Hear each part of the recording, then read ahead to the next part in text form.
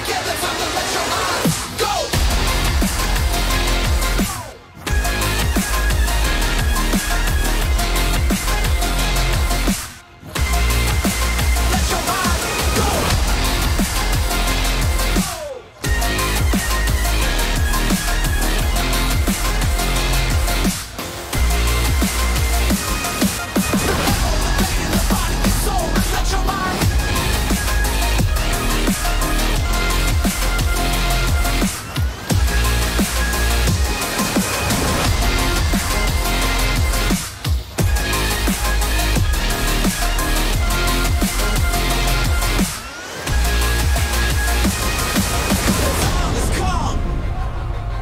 to lose control.